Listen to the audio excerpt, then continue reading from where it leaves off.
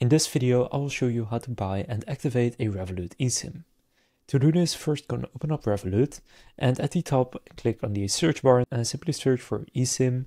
Then under products you will find eSIM. So go and click on it and then here select the data plan you want. So a specific country or a region or global and then select the amount of data you need.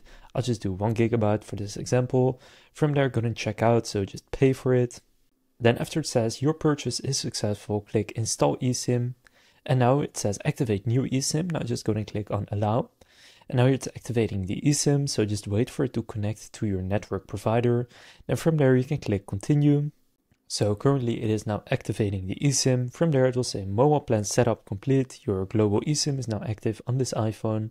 So just gonna click done. Now you can set it as your primary or you can use it for something else. So just select what you want to use it for, then click continue. So for example, I'll select primary right here. Then after you click continue, it will now be active and you can now use the eSIM on your iPhone. So now you know how to buy and activate a Revolut eSIM on iPhone. If this video was helpful, please consider leaving a like and subscribing to my channel. With that being said, I'll see you in the next video.